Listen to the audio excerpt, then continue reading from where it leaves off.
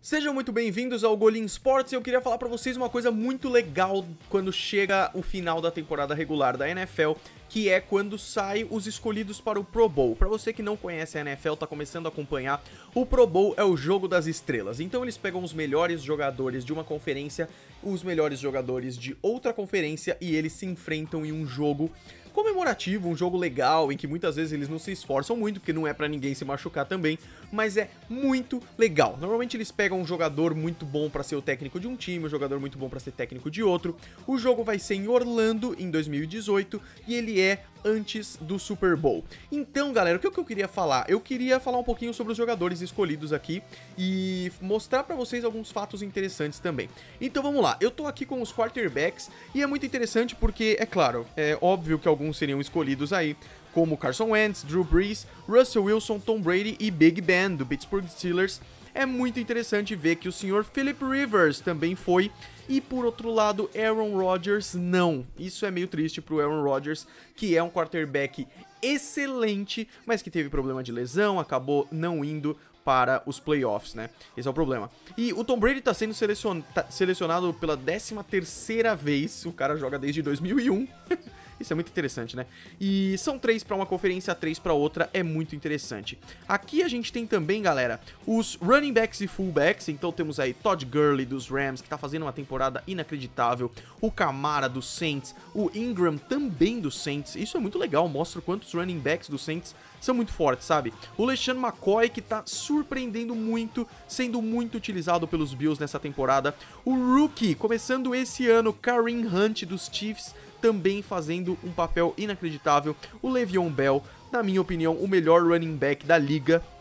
Le'Veon Bell é bizarro, ele é aquele running back que quando recebe a bola, ele mira antes de correr. E isso é muito tenso, porque é uma jogada de explosão, sabe? O Le'Veon Bell para mim é maravilhoso, um dos melhores running back, o melhor running back da liga. Falei, falei. O James Devlin, que é o fullback dos Patriots, é muito interessante ele estar aí também, e o Kyle Juszczyk, Juszczyk, do San Francisco 49ers, que é uma baita surpresa, visto quanto a temporada dos 49ers está sendo difícil, né?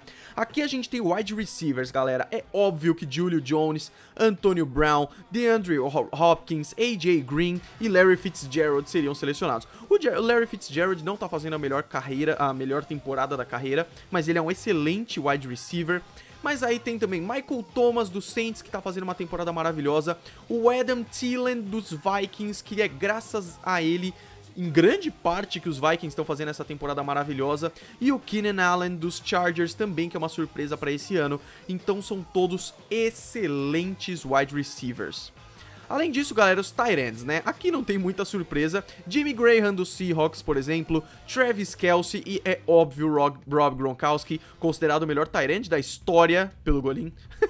e Zach Ertz do, dos Eagles. E isso é muito legal porque ele também é uma peça fundamental no ataque dos Eagles e mostra porque eles têm um ataque tão forte de wide receivers e também de Tyrants, né?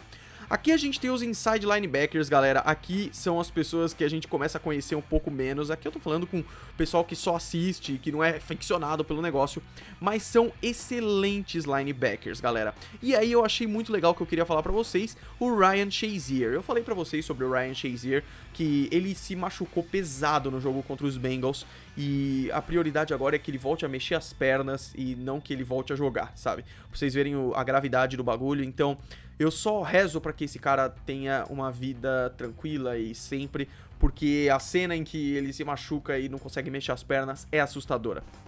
E é muito legal ele tá aí, junto com o Luke Cushley, é, Cushley, ah, Cushley, e o Bob Wagner nos, na NFC, e no AFC o Ryan Shazier que eu acabei de falar, e o CJ Mosley dos Ravens. É muito legal porque eles tentam trazer uma representatividade de todos os times, né? Bom, agora temos os outside linebackers, também tem jogadores excelentes. Esses são os defensores que são mais ofensivos, digamos assim, né?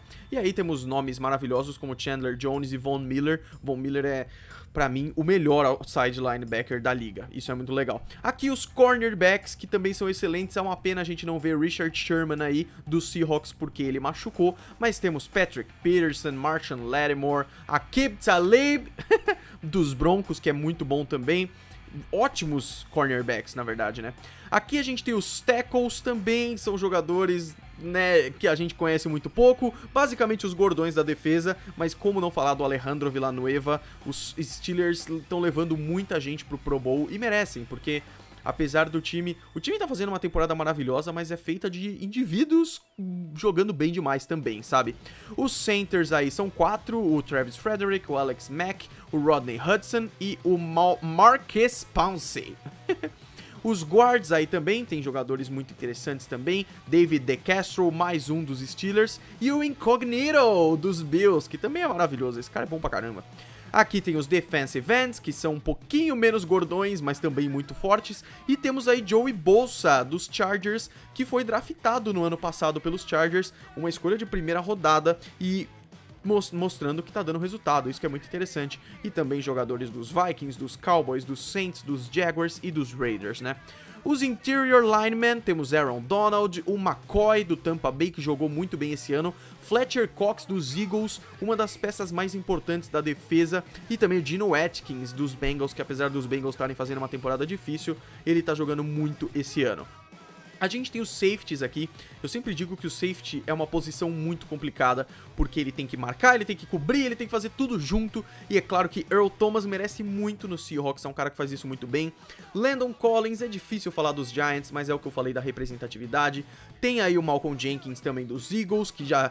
Ah, quanta interceptação esse cara fez esse ano. Eric Weddle o Rashad Jones dos Dolphins também jogando muito. E o Hyde dos Bills. É muito legal ver os Dolphins e os Bills aí no, no negócio negócio dos safeties, né?